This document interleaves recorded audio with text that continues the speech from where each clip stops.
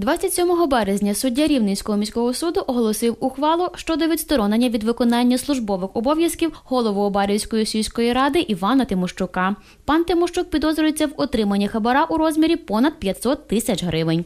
На засіданні суду прокурор Андрій Войтюк зазначив, що підозрюваний, перебуваючи на посаді голови сільради, матиме можливість здійснювати тиск на свідків та знищувати чи спотворювати документи, які мають бути залучені до справи.